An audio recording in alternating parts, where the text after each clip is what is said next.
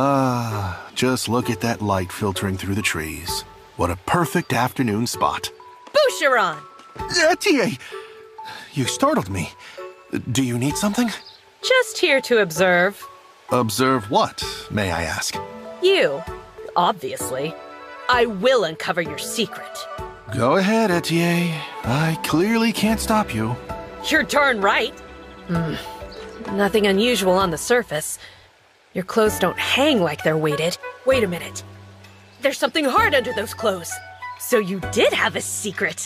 That is my cock.